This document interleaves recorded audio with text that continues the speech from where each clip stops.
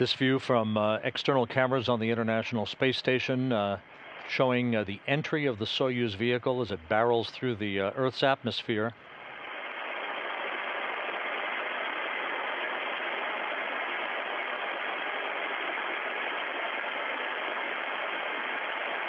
A rare view of the Soyuz uh, streaking uh, towards a pre-dawn landing on the central steppe of Kazakhstan.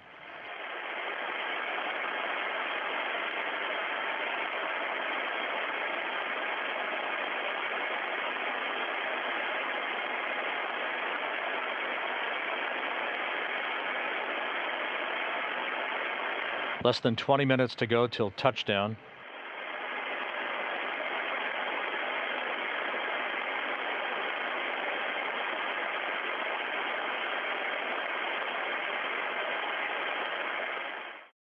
And now the first view uh, of Soyuz commander Sergei Volkov in his uh, reclining chair, having a few moments uh, to acclimate himself uh, to a gravity environment for the first time in five and a half months.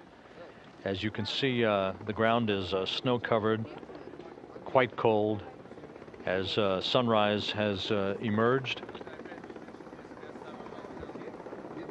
Volkov uh, wrapping up his second long-duration mission. He was the Expedition 17 commander of the International Space Station three years ago. Now the second crew member is being extracted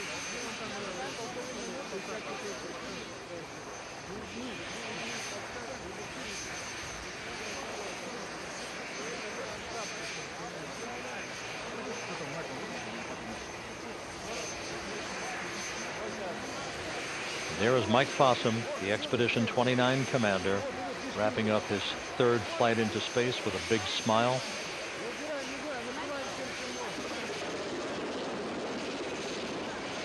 Being carried to uh, his reclining chair. He'll be wrapped up in a uh, warm blanket.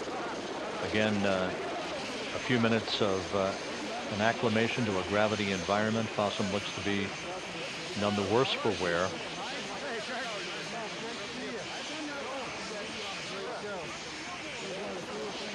We're still awaiting uh, the extraction of Satoshi Furukawa. And now on the line with us from the landing site is uh, NASA Public Affairs Officer Josh Byerly. Josh, if you can hear me, uh, good morning on Tuesday morning there. Uh, please give us a description of what you're seeing. Uh, well, I can verify that it's cold. I can, I can, I can tell you that. They, uh, you know, they warned us uh, about the weather out here. Uh, you know, as far as the landing, everything went fine. It's, uh, I mean, the capsule's on its side, as I'm sure you can see. Uh, the crew is doing well. Everybody's flashing a big thumbs up. Um, this actually was one of the more dramatic landings I think I've seen uh, in the years that I've been doing this because the sun was just coming up. Uh, Joel Montalbano and I were on uh, one of the first helicopters to get here. Uh, but right as the sort of the entry interface was happening, we looked out the right side, the starboard side of our helicopter, and we could actually see the entry taking place. There was a huge uh, plasma trail coming back behind the Soyuz as you saw it re-entering. Uh, it looked really different than what the shuttle typically does. It wasn't sort of a, a line of plasma that you typically see if you've ever seen a shuttle come back in. It was sort of this V-shaped plasma trail coming out behind it. So it was uh, it was quite dramatic in these early, early morning hours here in Kazakhstan. Josh, we actually uh, saw the uh, same thing from external cameras on the International Space Station. It was uh, very spectacular.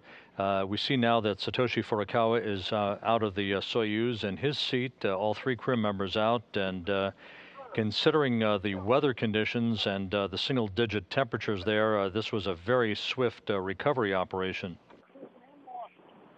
Yeah, you know, they always move really fast. We always talk about that. But given the weather out here today, which is just uh, intense, it doesn't even begin to describe what it is out here. Luckily, the wind is not quite as bad as what we were expecting, but the temperature is, is in the single digits, and you can definitely tell uh, just by standing out here. I mean, any part of your body that's exposed, like your face or like, like mine is right now, it, uh, it, just, the, the wind and the cold just sort of attacks your skin. So the crew is being moved very quickly uh, by the search and recovery forces. They're uh, they're they're not uh, uh, you know taking their time or anything like that. They're just making sure the crew is is feeling okay, which they are. They're taking some pictures right now, and they do have the medical tent set up. There was going to be a question about whether uh, they would end up uh, setting up the medical medical tent or not, and they did end up doing that because the wind, like I said, was not as bad as what they were expecting. But the uh, recovery forces, I'm standing probably about 10 foot away from right now, and they're starting to roll the Soyuz, so I'm going to move out of the way. Um, but the crew, like I said, the crew's doing really well. Uh, it's, it's sort of a cool, cold greeting to them. You know, after having been in space five or six months. But uh, we'll talk to Mike Fossum and Satoshi here in just a few uh, a couple of hours once we get back to Kustanay. Uh, ask them about their time on board the station, and we'll also be talking about that handover uh, between Fossum and Dan Burbank. Of course, it was only four days long, so we'll ask him some questions about that. Continuing uh, to receive uh, television from the landing site. As you can see, the sun is up on uh, essentially a clear morning in central Kazakhstan, although quite cold. the Soyuz now has been propped up upright it uh, will be hauled uh, via aircraft uh, back to a um, return to its Energia facilities in Moscow for technical analysis.